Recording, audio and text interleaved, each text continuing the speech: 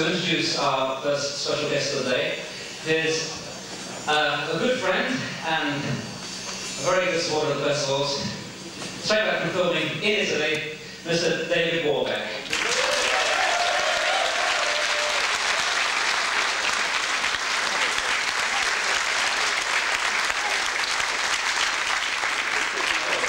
Thank you, thank you again. I'm always so incredibly impressed that people have this interest in these films that we've done so many years ago. So thanks for all coming. Um, this is without further ado, a lady who I so thoroughly enjoyed working with is our special guest this afternoon. Um, I sort of have to introduce her twice because she's known as Catherine or Catriona MacColl.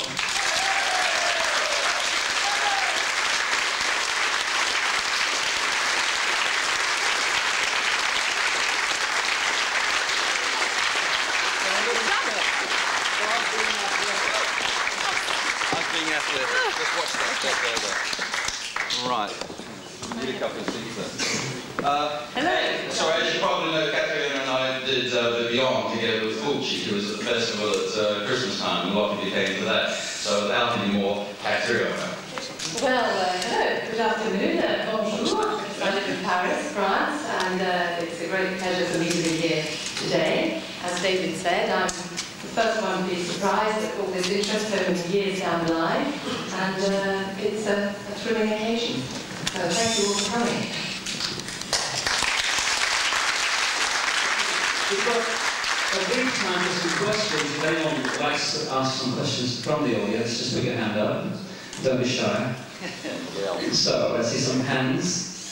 No hands, all right. Come on. Ah, the man in the uh, black t-shirt there. Catherine, how did you feel working with all the horror effects and beyond? All, all the what? Horror effects. The horror, all the horror, oh, the gore. Well, um, in actual fact, as I was saying to somebody earlier, I tend to be the victim in these films, and I don't actually have to do too many of these horrible things. I just have to run away and scream loudly. Uh, so I wasn't too affected by all of that, but it's true that some of my partners had some particularly gruesome things to do. Oh, tell, Um, tell them about the time that you were buried in the, uh, the coffin Buried- of the accident. Very nice, that, that time. But that was in the city of the living dead, that's right. Uh, that's uh, an amusing little story. Uh,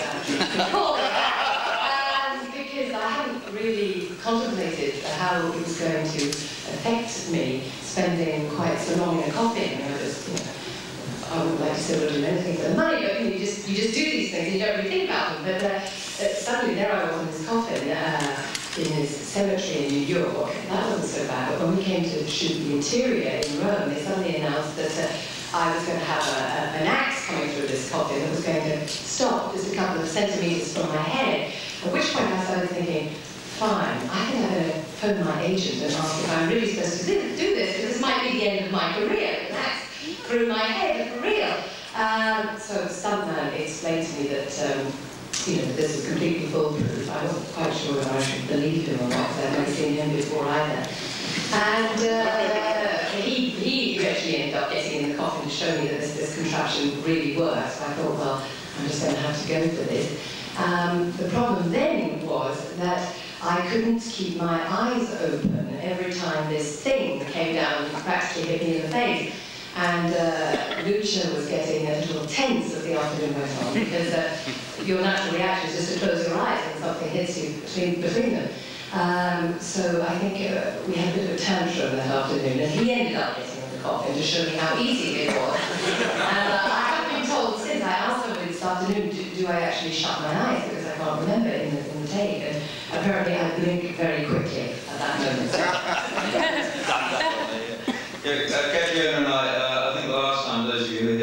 Beyond, um, I'm sorry we're not showing today, of course, but anyway, uh, there was that mad sequence at the time that reminded us just, just outside.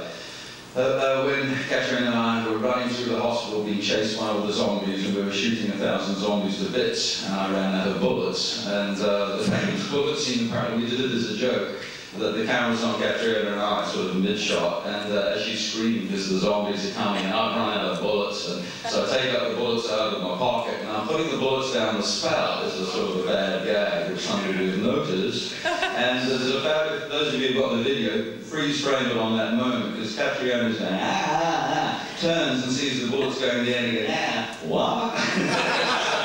a bad gag. Lucio's not too thrilled with that. Any more?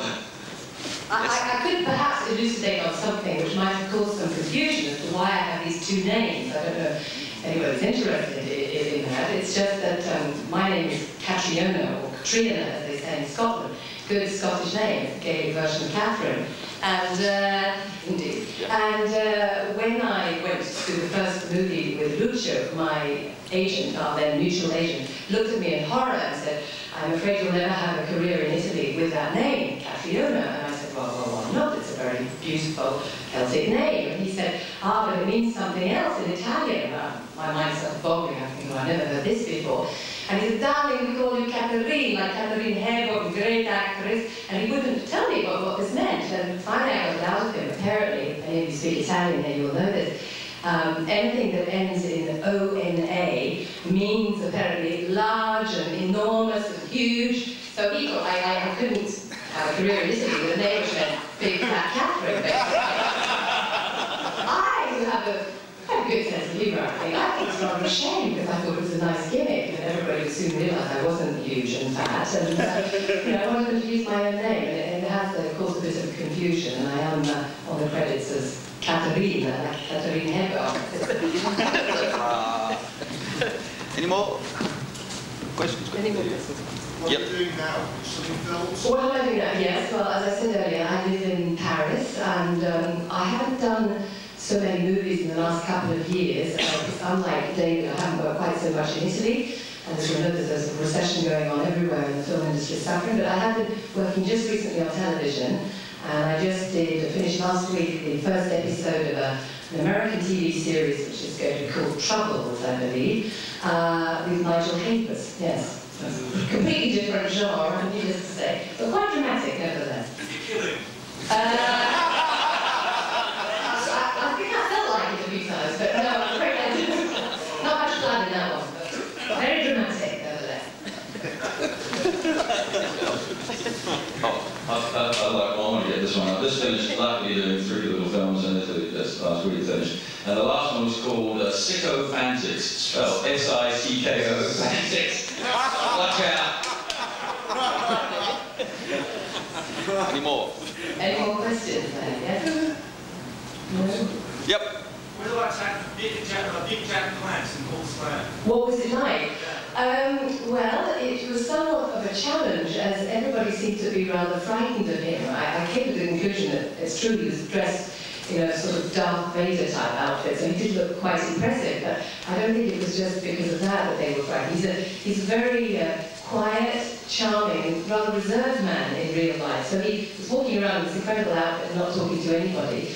And uh, I decided that, um, you know, I was going to break through this man. I was going to have a conversation, and funny enough, we started talking about Scotland, and uh, he started telling me about this castle he wanted to buy. And once once we got to that sort of thing, it was, it was fine. He was absolutely charming. I was a little bit impressed when I, well, a little bit scared, I.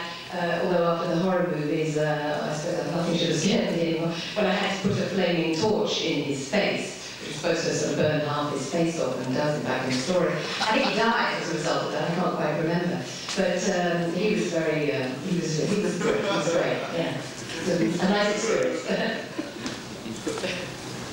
Okay, um, we got well, a bit of bad news because we can't actually show uh, City of the Living Dead because uh, Rank have lost it. so, yes. Yeah, they couldn't find it. Call them wanky.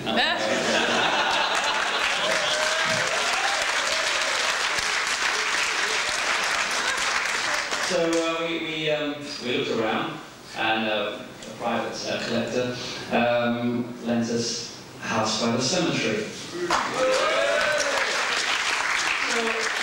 I have one question that anyone might have about House by the Cemetery, one last question.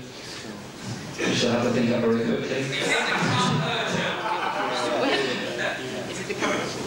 Oh, ooh, um, that's a uh, question. Probably, it's an X-rated version. Yeah, but the full story is that. Okay. Um, okay, I'd like to thank David and Catherine for coming and here. And, Catriona. I can be Yeah. Catherine. My, my alias, Catherine. That's all right. and uh, England coming on and explaining some of the backgrounds behind the films. And so we're going to roll the film now, House by the Cemetery. Okay.